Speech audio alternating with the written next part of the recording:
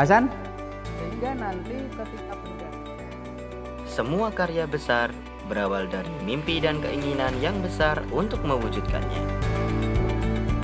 Namun, impian saja tidak cukup tanpa keahlian dan keterampilan yang mendukung. Di SMK, kami belajar keterampilan dimulai dari hal yang paling dasar. Kami tak pernah menyangka bahwa keterampilan dasar itu menjadi modal tak ternilai bagi masa depan kami.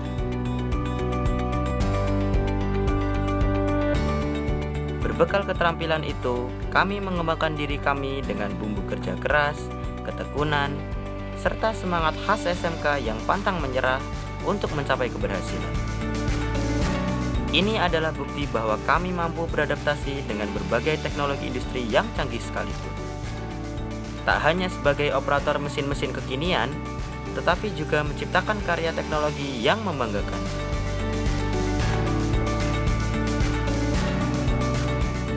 Kami siap menyambut era digitalisasi menuju masa depan pasti. Ini keahlianku, mana keahlianmu?